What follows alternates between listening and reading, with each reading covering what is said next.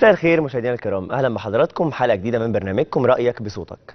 يوميا على نهار اليوم من السادسة وحتى السابعة خلال ساعة كاملة بنتناقش في قضية سواء كانت آه، بتهم حضراتكم فيما يخص إثارة الجدل أو كانت بتهم حضراتكم فيما يخص إن هي بتؤثر على الحياة العامة. النهارده موضوعنا آثار أزمة كبيرة جدا خلال الفترة الماضية خاصة على المستوى الشعبي.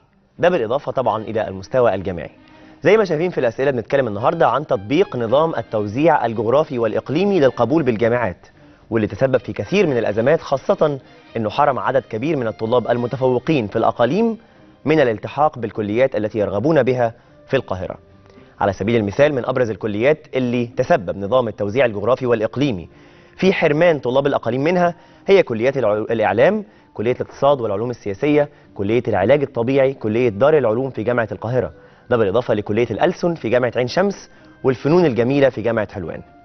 عدد كبير من الحركات الجامعية انتقد تطبيق نظام التوزيع الإقليمي والجغرافي اللي بدأ تطبيقه من العام الماضي لأنه يتنافى مع تكافؤ الفرص والمساواة بين الطلاب وأنه بدلا من حرمان أبناء الصعيد.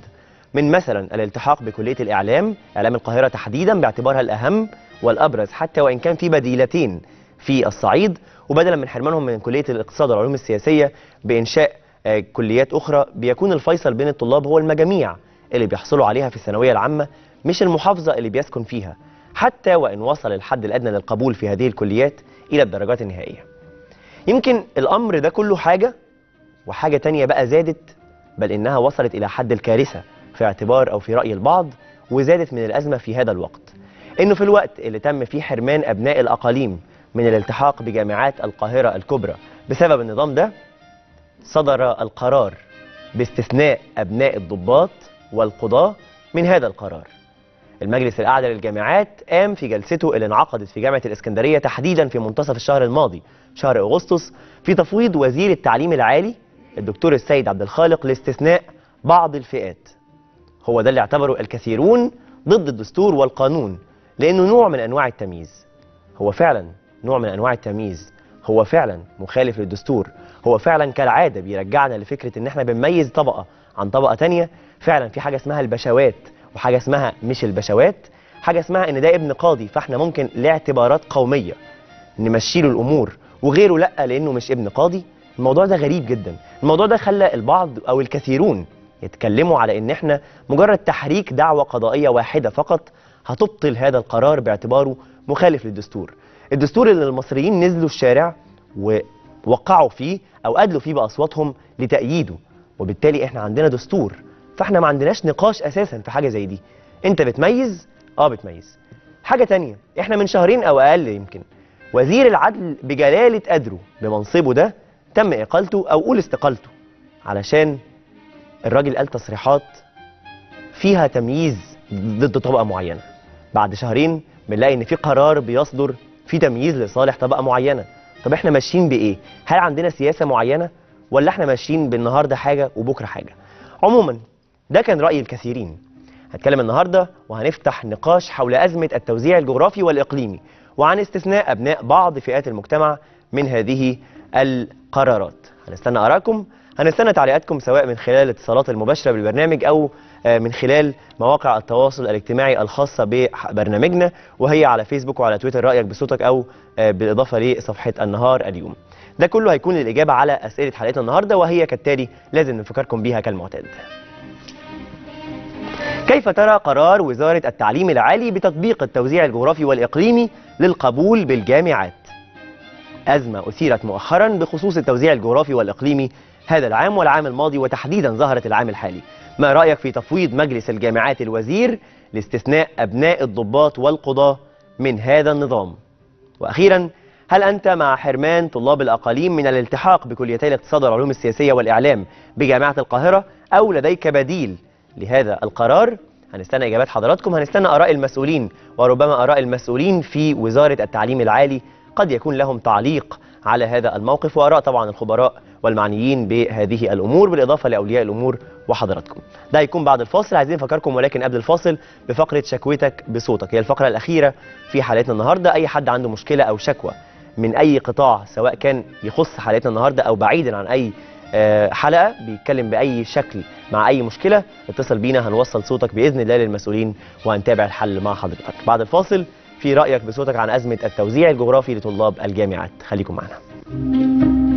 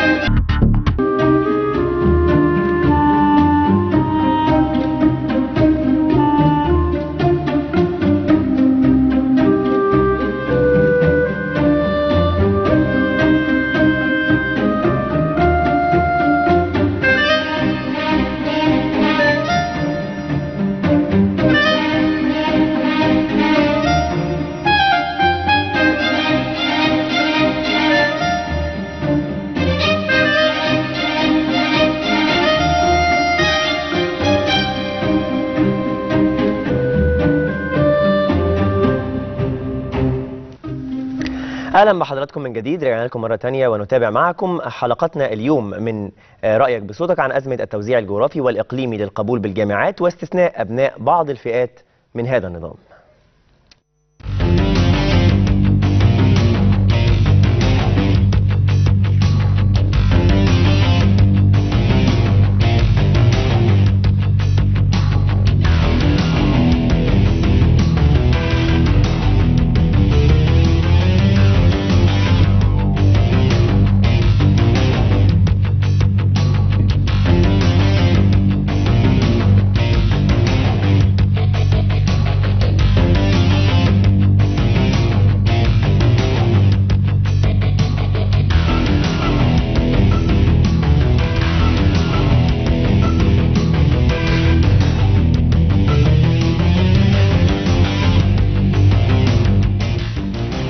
أهلا بحضراتكم من جديد. الحقيقة إن إحنا سألنا الناس في الشارع عن آرائهم فيما يخص نظام التوزيع الجغرافي للقبول بالجامعات وعن رأيهم في استثناء بعض الفئات من هذا القرار. نشوف الناس قالت إيه وبعديها نرجع نوضح يعني إيه التوزيع الجغرافي ويعني إيه الاستثناء يعني أو إيه رؤية المسؤولين عن هذا القرار. نشوف الناس قالت إيه ونرجع نكمل معاكم يعني. مش راضي عليه توزيع وحش. يعني هو مش مش تحت شرط يعني أكون أنا هدخل كلية بلدي يعني. على حسب أهم حاجة التعليم يكون كويس في مصر. مش مشكلة مش مشكلة التوزيع الجغرافي يعني. مجموع إن أنا أجيب تجارة ورموني خدمة اجتماعية حلوان فأنا حولت بالعافية جابوه حول القاهرة. مش عاجبني طبعا لأنه 95% يعني دلوقتي ولا بتعمل أي حاجة ما دخلتش ألسن. كلنا حتى دخلنا تجارة. حتى عشان يكون لنا مستقبل دخلنا تجارة انجلش عشان نشوف التوزيع يعني التنسيق الداخلي تجاره انجلش أعلى من السنة اللي فاتت ب 18 درجة. يعني اللي هو الحوار اللي هو بتاع اللي هو ولاد ال- اللي هو الناس الكبيرة وكده اللي هم مش هيبقى ليهم توزيع جغرافي وإن هم عادي بالنسبة لهم يروحوا أي حتة. والناس تانية بتتظلم. يعني مثلا لو حد جايب مجموعة كلية في مكان ومكان تاني لأ ما يروحش. فده ظلم. يعني ممكن تكون في ناس جايبة مجموع يدخلها آه، سياسة واقتصاد وما يدخلوش ليه يعني؟ مش مع مش مع الموضوع ده خالص بجد. لأن في ناس اتظلمت برضه وفي ناس يعني محتاج إن هي تقدم في أقاليم. في ناس بتيجي من أماكن بعيدة وبتغير بعد كده. أنا جات لي في جامعة جات لي جات لي عين شمس وبعد كده اشتغلت فيها مثلا سنة ورجعت تاني وزمايلي نفس الكلام. وأنا هنا في الجيزة وفي ناس من مثلا من عين شمس وجات لي القاهرة. بس على حسب كل واحد بقى وهو عايزه يعني. واللي فيه الخير ربنا بيقدمه. حضرتك هو ما عجبنيش جدا بحيث إن إن هو مثلا بيحدف آه، طلاب في المنوفية في أسيوط في جامعات آه، ما يقدروش إن هم يروحوها. وبحيث إن هم حتى مثلا لو لما بيعملوا تقليل الاغتراب ما بيجيبهمش. بحد- يعني برضو حتى مجموعهم يجيب بس آه، ما مش جايبهم أصلا. لا هو بصراحة التوزيع الجغرافي السنة دي مش عاجبني اللي هو مفرق بين طلاب كتير. في طلاب كتير آه، راحوا أقاليم وهم بصراحة مش حقهم يروحوا أقاليم. حقهم كانوا يخشوا جامعة القاهرة بس التوزيع الجغرافي ده ظلمهم جدا. دي كانت آراء بعض الطلاب اللي بعضهم بيشوف إن هو متضرر من هذا القرار والبعض كمان بيتكلم أو بيتابع رأيه فيما يخص التوزيع الجغرافي. الحقيقة إن إحنا هنشوف بعض الأرقام الخاصة بالتوزيع الجغرافي أو تفاصيل عن هذا التوزيع آه، وده هيكون من خلال هذه الإحصائيات. بنقول إن في اقتصار القبول بكلية الإعلام وكلية الاقتصاد والعلوم السياسية على جامعة القاهرة على محافظات القاهرة والجيزة والقليوبية والفيوم وسيناء وبورسعيد والإسماعيلية والسويس. يعني طلاب هذه المحافظات هم فقط من يحق لهم الالتحاق بكلية الاقتصاد والعلوم السياسية. أما كلية الإعلام فمقتصرة وهي جامعة القاهرة على طلاب محافظات القاهرة الفيوم ومحافظات وجه بحري بالكامل وحرمان طلاب الصعيد. بمعنى إن طلاب الصعيد لو عايزين يدخلوا كلية إعلام ففقط يلتحقوا بكلية إعلام جامعة بني سويف وهي حديثة العهد ولكن البعض يرى بالطبع إن هي مش نفس آه، مستوى كلية إعلام القاهرة ولا هي ولا كلية آه، إعلام جنوب الوادي. عدد الطلاب الذين تم قبولهم في الجامعات من الثانوية العامة حوالي 270 ألف طالب وطالبة هذا العام طبقا للتنسيق. وأيضا من ضمن الأرقام فعدد الأماكن الخالية في الجامعات الحكومية حوالي 130 ألف و5000 مقعد في الجامعات الخاصة. عدد الطلاب الذين تم قبول تحويلاتهم هذا العام هو حوالي 60 ألف طالب طيب خلينا نرحب هاتفيا بالدكتور ماجد القمري رئيس لجنة إعداد القانون آه، التعليم العالي الجديد ورئيس جامعة كفر الشيخ. دكتور ماجد أهلا بحضرتك. أهلا مساء الخير إزيك يا أستاذ مساء هاني النور يا فندم منورنا يا فندم. يا أهلا بيك ربنا يخليك سعادتك اللي منور الدنيا كلها. ربنا يخليك بشكرك. دكتور ماجد يعني خلاص إحنا على أبواب العام الدراسي الجديد فيما يخص الجامعات. حابب أعرف منك آه، هذه الأزمة المثيرة للجدل خلال الأيام الماضية فيما يخص أزمة التوزيع الجغرافي وأيضا استثناء آه، أبناء بعض الفئات. كيف ترى هذه الأزمة أو كيف ترى ما أثير من جدل حولها؟ هو في الحقيقة المجلس الاعلى كان وافق على ثلاث حالات للتحويل مم. الحالة الأولى تحويل بنسبة 10% من الطلاب المقبولين لتقليل الاغتراب من خلال مكتب التنسيق الرئيسي. نعم. وما زاد عن ذلك يسمح للطلاب بالتقدم بالتحويل للدراسة بالبرامج الجديدة المطروحة ببعض كليات الجامعات بشرط الحصول على الحد الأدنى للقطاع المتقدم زي كده الصيدلة الاكلينيكيه دي برنامج من البرامج الجديدة. الحالة الثانية تحويل لأسباب طبية بعد العرض على القومسيون الطبي، لو في واحد عنده مشاكل طبية بيتعرض على القومسيون الطبي وبيجيب شهادة وبيتم تحويله. الحالة الثالثه النقل الإداري لولي الأمر ايا كانت وظيفته ودي آه، نفس الشروط اللي كانت موجودة أو نفس الحالات اللي كانت موجودة في السنة الماضية. مم. يمكن اللي أضيف عليها السنة دي بعض حالات قومية لأبناء آه، شهداء على سبيل المثال. مم. يعني لو عندنا آه، شهيد وابنه عايز ينقل دي مهمة بتعتبر قومية لأن ده ضحى بحياته عشان مصر وعشاننا جميعا. مم. فدي تم استثناء الوزير فيها اللي هي الحالات القومية دي. طيب إحنا- تمت بتفويض الوزير فيها بالتصويت وموافقه غالبية المجلس الأعلى للجامعات. طيب يعني على سبيل المثال في أمين شرطة من كفر الشيخ مم. فده أستشهد في آه، مش عارف سينا أو العريش وابنه عايز ينقل مم. فدي حالات قومية لأن الناس دي ضحت عشاننا كلنا وعشان مصر مم. فدي واخدة استثناء. لكن الدستور ما بينصش على كده يا فندم. مم؟ الدستور ما بينصش على إن ممكن يتم تمييز طبقات أو فئات عن فئات أخرى حتى وإن كان يعني ما قالش إن في حاجة اسمها اعتبارات قومية ولا إيه رأيك؟ هو الدستور ما فيهوش اعتبارات قومية فعلا ولكن لو قدامنا شهيد ابنه عايز ينقل. آه يعني الحالة دي بتبقى حالة إنسانية شوية. امم يعني ده إنسان ضحى عشاننا كلنا وطبعا بيبقى الوزير في حرج في الحاجات دي في الحالات دي. امم فهو آه المجلس استثناها في الحالات دي. والقاضي؟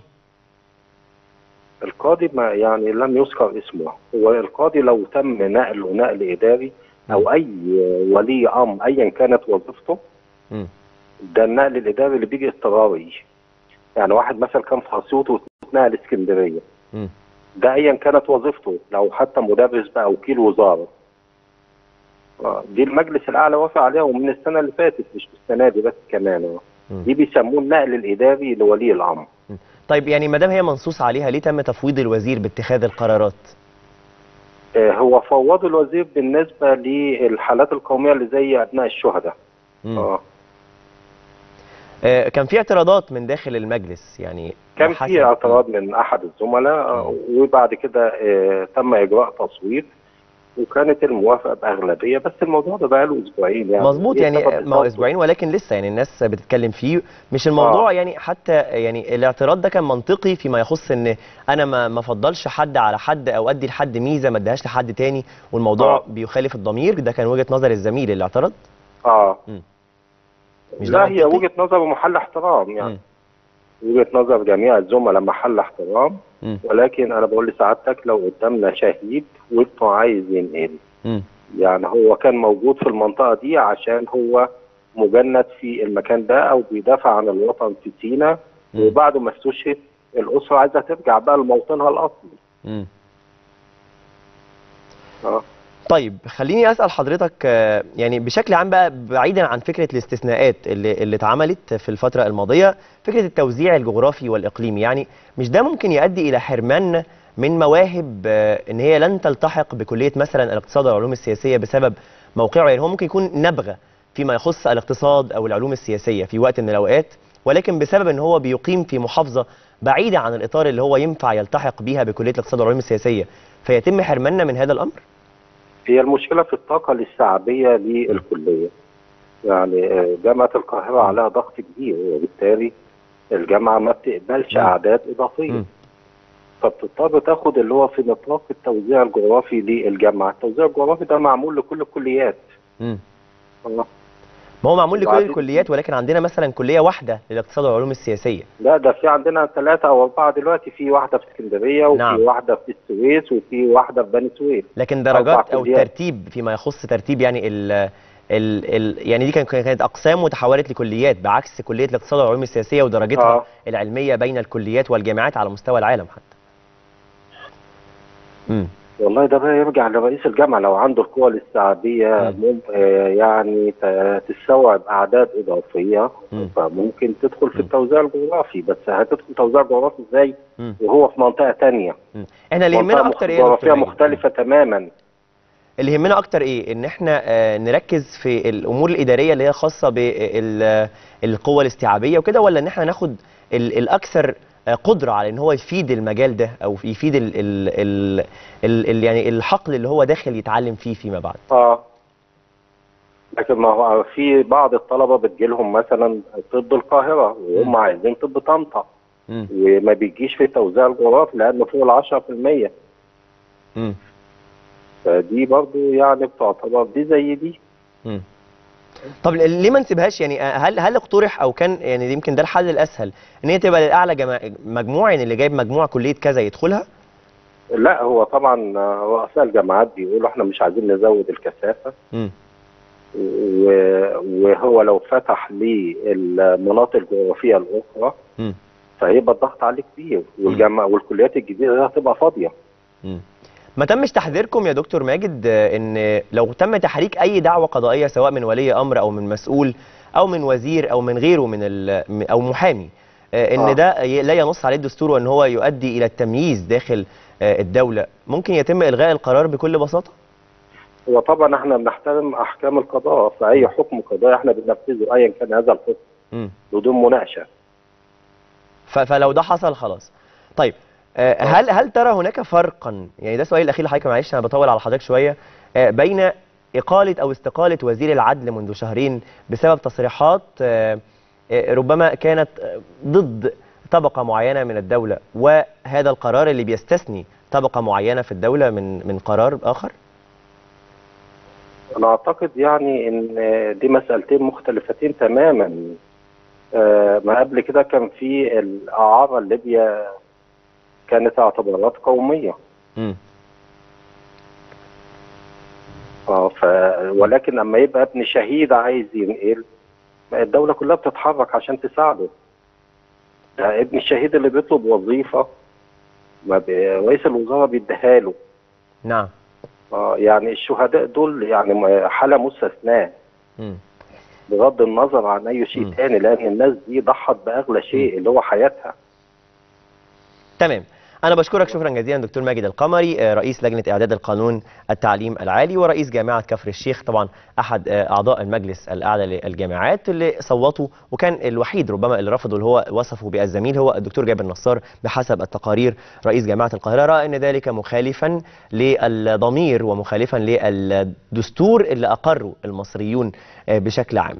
هي إن إحنا بنتكلم على تطبيق القانون بشكل عام على الجميع في كل قضية وفي كل حلقة وفي كل مناسبة بنتكلم على ضرورة تطبيق القانون على الجميع بدون استثناء. الحقيقة إن إحنا برضه ما ينفعش نلعب بشعارات فضفاضة أو بفكرة شهيد. ما هو الشهيد له كل الاحترام ولازم هيفضل وسام على صدورنا. إن إحنا قدمنا شهيد لمصر وإن هو آه، دايما هو كان من ضمن من ساهموا في حماية بلدنا وكل شبر من أرض مصر.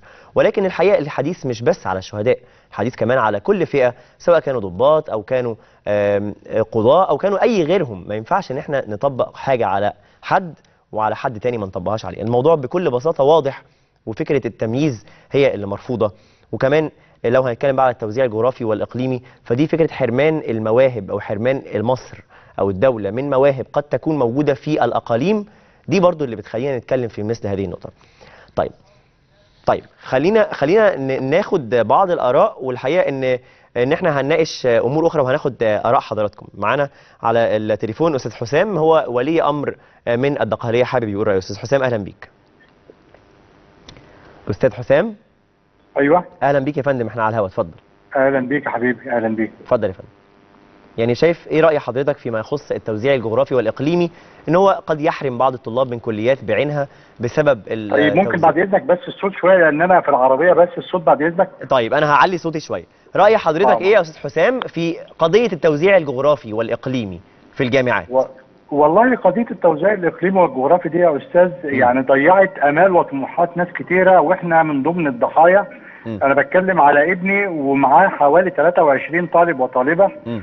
في كلية دراسات اقتصادية وعلوم سياسية في اسكندرية تمام واخد بال حضرتك إحنا لما قدمنا السنة اللي فاتت آه، في التنسيق كتبنا رغبة أولى آه، كلية سياسة واقتصاد القاهرة. نعم.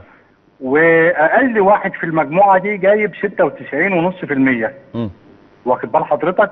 وكانت كلية سياسة واقتصاد القاهرة واخدة 94% فردوا علينا في التنسيق قالوا لنا دراسات اقتصادية وعلوم سياسية اسكندرية.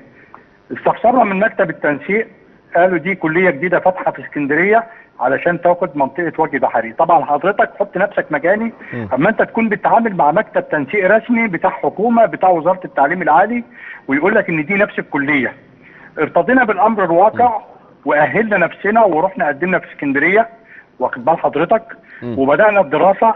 ونفاجئ بعد الدراسة بأسبوعين إن ما فيهاش علوم سياسية هتدرس بالإنجليزي. نعم. فطبعا أنا رحت قابلت وكيل الكلية. بشؤون التعليم والطلاب. قال لي إن إحنا ما عندناش دكاترة يدرسوا علوم سياسية بالإنجليزي. طيب إزاي حضرتك بتعمل كلية ما فيهاش بنية أساسية؟ مظبوط. قال لي إحنا عملنا انترفيو لمجموعة من الدكاترة عشان يدرسوا العلوم السياسية بالإنجليزي. م. لقينا معلوماتهم سطحية في العلوم السياسية بالإنجليزي. طبعا ده كلام آه كلام غير منطقي وغير واقعي. واخد بال حضرتك نزلت طبعا من عنده رحت على القاهرة على طول علشان الدكتور جابر نصار نشوف حل للموضوع ده. نعم. فبتكلم مع الدكتور جابر نصار فبقول له يعني إن أنا قلت لابني إنك تستحمل السنة دي أما تجيب تقدير هتحول القاهرة السنة الجاية. كانت الصدمة من الدكتور جابر نصار إن قال لي ولو ابنك طلع الأول على الدفعة استحاله هيحول القاهرة. ليه يا دكتور؟ قال لي دي كلية غير مناظرة. كليتنا دي كلية. فريدة من نوعها.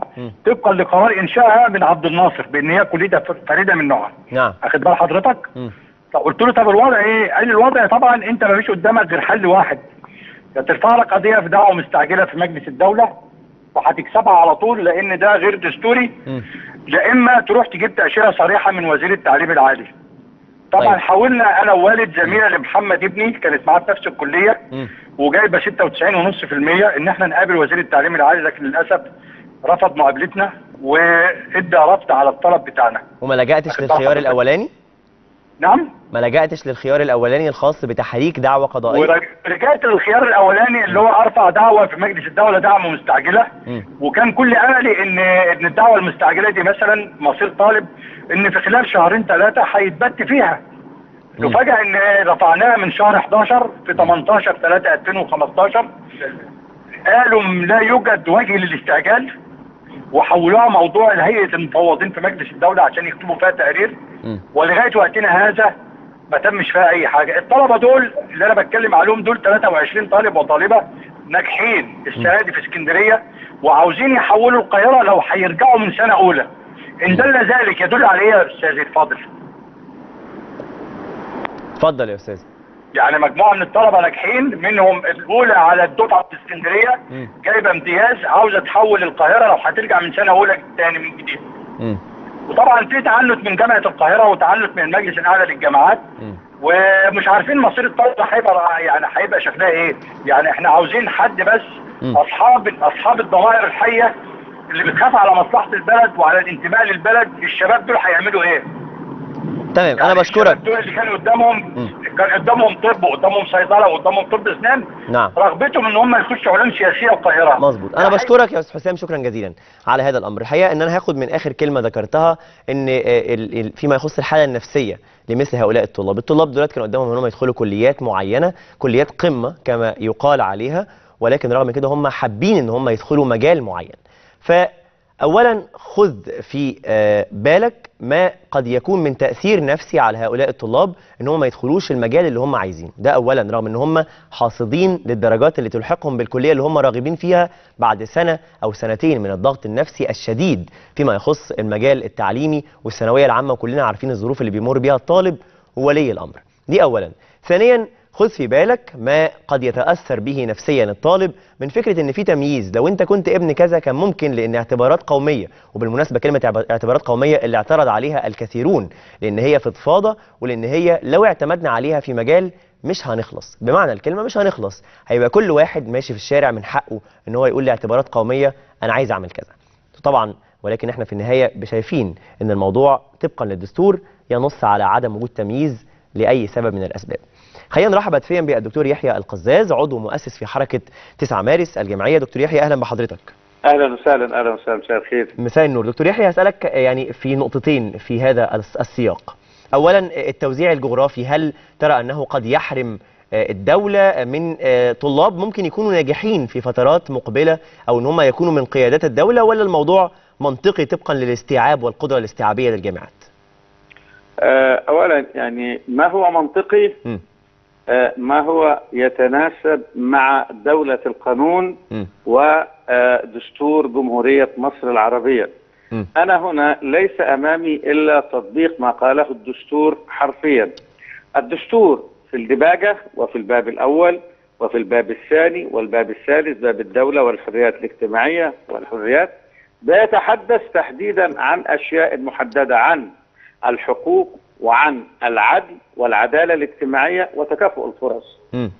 إذا المسألة واضحة أن لدي لابد أن يكون هناك تكافؤ فرص. إذا لم تكن هناك تكافؤ فرص أصبحت ليست دولة قانون لكنها أصبحت دولة شريعة غاب أصبحت دولة طبقية. طبقية بمعنى أن في الدولة يوجد فيها سادة وعبيد. وبالتالي الحقيقة ما يحدث هذا هو عبث من وزير غير مسؤول المفترض للأسف الشديد أنه أستاذ القانون ليس هذا فقط بل وله كل الاحترام إليه- طبعا م. لا الاحترام إحنا إحنا نعم. ما اتكلمناش أنا الشخص أنا حضرتك. بتكلم في اطار القانون نعم. حضرتك بتقف قصاد القاضي. بتقول للقاضي هذا فساد في الاستدلال نعم. القاضي ما بيقولكش انت غلطت فيا ما إحنا مش هنقله الناس بعد ثورتين اعتقد كفاية ولازم كل واحد ياخد حقه م. ولازم الغفير يعرف نفسه زيه زي الوزير زي رئيس الجمهورية ما فيش حد أحسن من حد نعم. هذه هي دولة القانون أو أيضا ثانية إلى الجزئية التي تحدث فيها يعني زميلي أو أخي في المواطنة اللي بيتكلم أيضا عن ما قيل أنها كلية ليست يعني لها مناظرة. نظير أو نعم. كلية غير مناظرة، ماذا يعني هذا الكلام؟ لدينا كليات العلوم في قنا كلية للعلوم في البحر الأحمر في حلوان في القاهرة في في في أنت هنا عملت أيضا كلية دراسات اقتصادية وعلوم سياسية في بني سويف وفي الإسكندرية وفي القاهرة سميتها اقتصاد وعلوم سياسية. طيب لما هي مش مناظرة أنا عايز أعرف عملتها اللي؟ هيتخرجوا من كلية الدراسات الاقتصادية والعلوم السياسية دول هيتعينوا فين؟ م. اللي هيتخرجوا من اقتصاد وعلوم سياسية دول فين؟ أعتقد دي عنجهيه فارغة لا تدل حقيقة إلا على بيئة جاهلية قد عفى عليها الزمن تعود أيضا إلى العصر الحجري أو العصر القبلي الحقيقة مش كل واحد فينا مسؤول هيقدر يطلع ويقول اللي هو عايزه على فكرة في كل دول الدنيا أنا كنت بدرس في إنجلترا على فكرة بالمناسبة كنت في جامعة لندن. الحقيقة جت واحدة من من من من جلاسجو كانت بتدرس معانا. ليه؟ لأن هي الوضع بتاعها جاب هنا. فالمفروض الحقيقة إن يبقى كله تكافؤ فرص الكل.